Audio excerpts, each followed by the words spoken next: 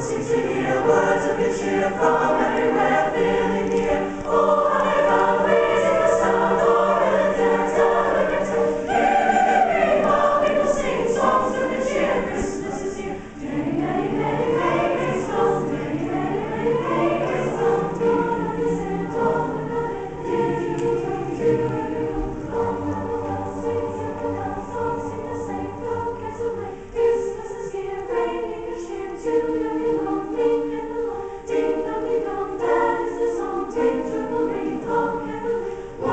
Sicilia